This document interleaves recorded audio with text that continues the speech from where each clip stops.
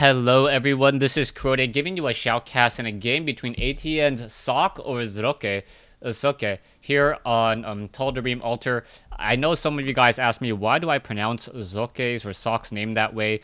I'm trying to do the German justice as that is how he pronounces his name. I could just do the normal English translation and call him Sock, but that's no fun at all. Anyways, we also have Kas spawning as the blue Terran player here. So this is going to be Terran versus Protoss, and a couple of things to clarify. Um, if you guys watch my cast pretty regularly, you know that I was yawning in the other games. Sorry, I haven't been getting much sleep, but I do want to cast and I do want to watch these games with you. Secondly, um, some of you guys were like, how can you not know the 111 build as a Terran player? I obviously know the 111 build, but the variation that I believe Puma used was that he delayed his gas just a little bit, or he did something strange where he was able to get that second supply depot down earlier to do a complete wall off. But I also think it delayed his gas a little.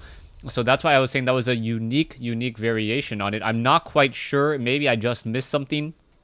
But then again, at the professional high level of play, not only is it about the buildings that you have and the strategy that you're executing, but how you go about executing it. And his particular execution looked uh, looked a little different to me. Anyways, we're gonna see now Zoke perhaps opening up with a uh, with a fast 15 Nexus, and this would be a very very optimal opening um, as of late for Protoss players. Protoss players recently have been using the 15 Nexus to try to out expand their opponent. The the popular Terran 111 play um, has been very difficult to try to dis- uh, try to overcome, and mostly a lot of Protoss players have been opting to expand a little bit earlier in order to get a strong economic lead, and hoping that the mule advantage doesn't go too far in the Terran player's favor.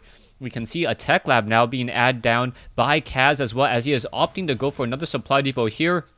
A little bit strange. This may be more of a Reaper expansion build as I, I don't see a um, usually when you add on this first tech lab it does delay your factory and no it's going to be a marauder. So a very very early marauder here on Tal'Darim Altar and this particular build until I see what the other buildings are and what exactly Kas's strategy is looks rather strange to me. Kas perhaps understanding the metagame knowing that his opponent may try to go for a very fast nexus on a map like this, opting to go for a Marauder harassment and getting a little bit lucky with the scout. So a very early scout coming in from Kas now with this SCV. The Marauder is going to push his way out he may be able to even shut down this one particular probe. Yeah, one, two, uh, one more shot would do it. And yes, a very long distance shot there, and down goes that unit. You can see a bunker now being placed down as well. A zealot trying to make its way over. This poor probe now being forced to pull back. This one marauder will have concussive shells in time. A second marauder also coming in, and you can see another barracks coming in as well.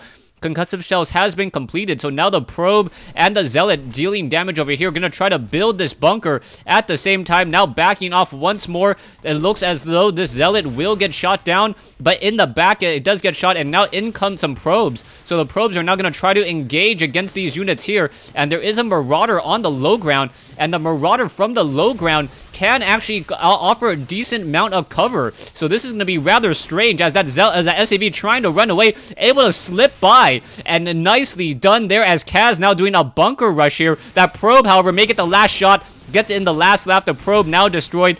That one zealot is going to fall rather quickly. There it goes. Now some probes are going to get taken down as we have a nice split here. Taking out another probe. Three marauders against a zealot there. And now a fresh marauder leading the way. This one zealot is going to have a bit of a problem. Getting so slowed down. That zealot low on hit points. Does get off one half of attack. Down goes the probe. Down goes that last zealot there.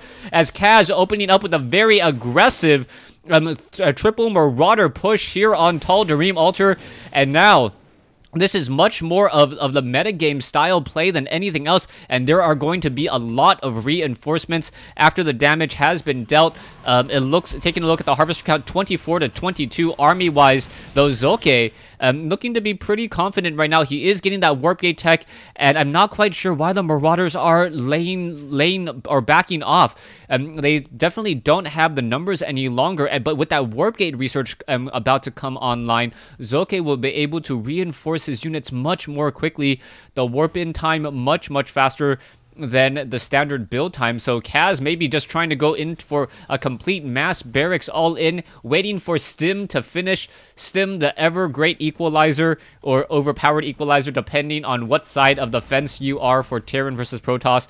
Um, yeah, Stim versus those gateway units, very, very strong, as Marines are going to be added as well. It looks like the attack will come in in about 40 seconds, meaning another round of Marines could be, are going to be trained. More Marauders going to be trained. We are also getting Combat Shield. That Combat Shield, about, what, nowhere near being completed, about another 90 seconds or so away. So we'll see what's going to be happening here. The push may move out around the 8 minute 20 second mark if I was to look at the time and try to uh, make any easy, easy predictions there, we are going into a Twilight Council, though, most likely to get into Dark Templars, as um, Blink and Charge is not going to be enough to really shut down this mass Marine Marauder army. There are a lot of Marines here, a lot of Marauders. You can see the army size, just how strong it is. Production tab shows no more SCVs being trained.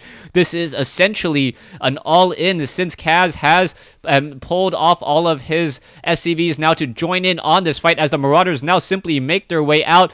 And, and wow, this is really, really bad play by Zolke. Zolke doesn't even have this one Xel'Naga tower to know that the units are currently coming into the battlefield.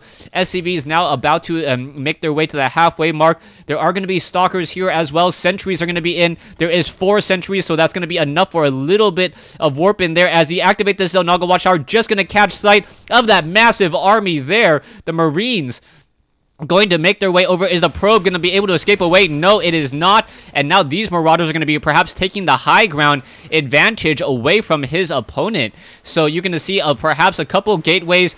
SCV now going to try to test the waters, quickly get shot down there. And now Marauders coming in from the far side. SCV is coming in as well. There's some force fields. That's not going to be enough to really wall off. And now this massive attack with SCVs acting as a, as a, what, a meat shield. SCVs engaging, Marauders pulling back once again. Sentries trying to engage, but the Sentries are not going to deal enough damage as the Marines and Marauders doing that stutter step in.